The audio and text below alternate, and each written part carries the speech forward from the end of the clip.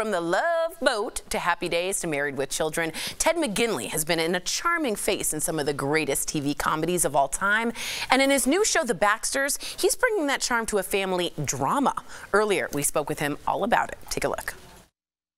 The way he looked at Carrie is the same way that you always look at me. I thank God every day for giving me more time with you.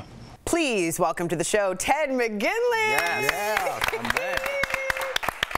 Hi, everybody. Thank you so much for having me. Oh, Appreciate thank it. you for being here. So let's get to it because, Ted, you've always been an incredible comedic actor, Yes. but a lot of the scenes in the Baxters are super serious. So are you still making people laugh between takes?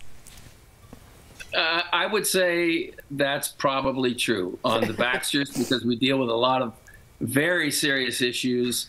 Uh, that the in between is important to make people still enjoy being in the space. So yeah, we had a great time making it. Uh, Roma Downey is an amazing partner to work with, and boss, by the way. Uh, so, yeah, but we laughed all the time. Let's get to some of my favorite characters that you played. You played so many over the years, but Jefferson D'Arcy in Married with Children was hilarious. What was your trick to playing such a funny guy? It, it kind of just seems like that's who you are. Jefferson was uh, driven by the fact that he didn't want to do anything.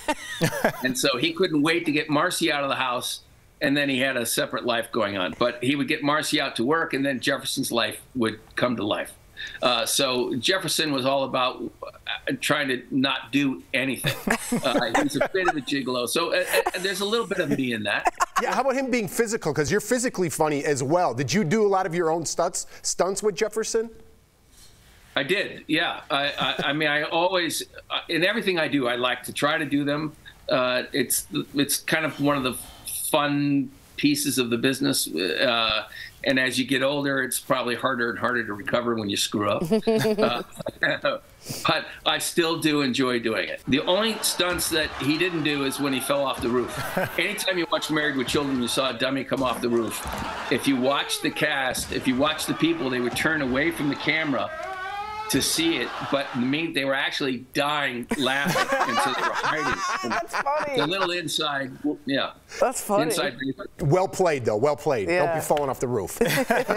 Obviously, you're known for being Stan Gable in Revenge of the Nerds, and you were an actual frat bro in real life. Yeah. So, did this make things easier? Yes. Yeah. Yeah. Uh, I knew the world very well uh, when I stepped into it, and I would say I probably knew it as maybe better than anybody because I had just finished living it. Yeah. Oh, wow. So, uh, and uh, it's one of those fantasies where you get to say all the things you don't get to say in real life. So that's fun. Like it's the great. I would rather play a bad guy any day of my life, or or I. You know, I mean, I think that that's more. My friends would tell you that's probably more of who I am. That's more you than Jefferson. All right, your first acting gig was actually in Happy Days when they brought you in as the nephew. Were you, was it nervous days instead of, were you so nervous about being on such an iconic show?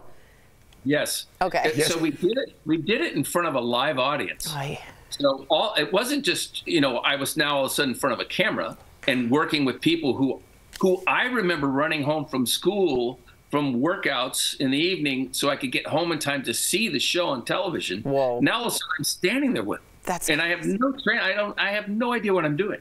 So uh, my biggest fear was that I would walk out on stage and then I would just faint.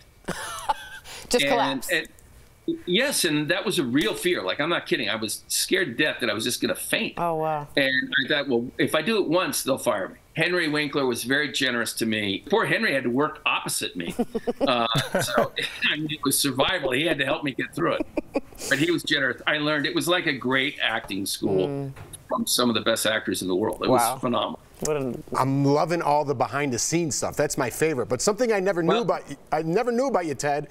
You were a model before you got into acting. You were actually in GQ. I think we got a picture right here. yeah. Ah, look at that. So Love the how fit. did you, how did you Yeah.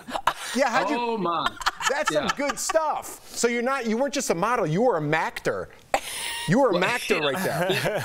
Well, you know, it's funny. In the day when you made the transition, uh, and there weren't that many guys, I guess, making that transition at the time. But when I when I went from modeling to acting, and I only did it for like a year, I guess, year and a half.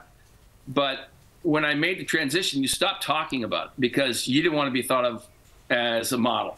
you had to be thought of as an actor. Now it's you can transition. You can go back. People are doing, they're doing it all, and and it it was. Uh, so now I, I keep thinking I should get some of these pictures out there in the world. Mm. You know what So I never you. knew about that world, Al? Remember this look when you'd hold your inside of your Yeah, you- sleeve and you'd look off? Who does that in real life? Why do we always do I- that for modeling? I, but I would like to see Ted do that move for us Can right we now. see you Could- model right maybe now? First of all, let me just tell you that move is actually gas. yeah, that's gas. I'm just saying. Was that- looking for work. You've been a gas. Thank you so much. DBL Nation, do not miss The Baxters. It's premiering March 28th on Prime Video. Thank you so much again.